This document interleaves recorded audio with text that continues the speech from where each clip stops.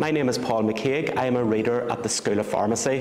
One of my roles within the school is Director for Student Engagement and Support for Pharmacy Students. My name is Siobán McCartan and I'm the timetabling coordinator for the university. And in my role, I manage the timetabling process, the training etc. for it. I enrolled in the Connected Leaders programme in October 2019. I undertook the course to acquire new skills but also to enhance my existing ones. I had hoped to gain insight into what other leaders do in the university. Am I doing the right thing or you know what perspective I would get from others as well. I really enjoyed the delivery of the course. My Connected Leaders programme started in 2019 and at that stage it was face-to-face -face workshops up in Riddel Hall. Then with the pandemic, we transitioned to online in March 2020. One of the great benefits of having those initial face-to-face -face sessions that we were able to build up the connections and build up a relationship with the groups of people that we were working with. It was very collaborative, it was relaxed, it was different, it was varied, it was very involved. I enjoyed the vast range of teaching activities that we undertook. So there was facilitated discussions, there was peer coaching, there was group work and there was guest speakers sharing their experiences of their own leadership journey.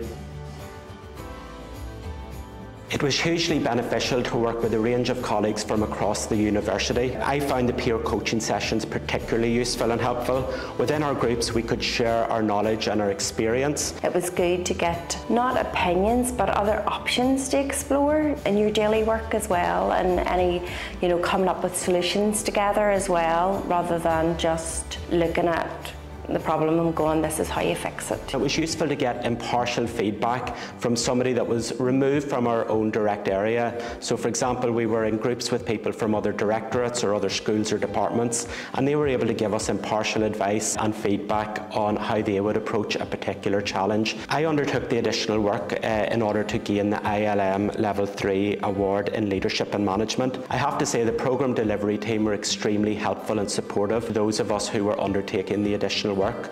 So that involved undertaking two additional assignments. The programme team put on additional tutorials and Q&A sessions to help support us through that process. So it was a nice bonus at the end of the Connected Leaders course to have that additional accredited qualification. It was good to see how others, the way they come out uh, uh, from the psychometric testing as well, that we're all varied, we all look at things differently. Just getting that perspective from others, you know, sometimes you think, well, this is the role I do, this is the way I've done it for 10 years, but maybe asking someone else, you know, what do you think? Do you think there's a better way of doing this? And working collaboratively with them and getting their opinion and looking at it from a different angle. The key takeaways that I have from the course is the importance of effective communication in order to build relations within the team and ultimately to achieve goals. I would say absolutely go for it.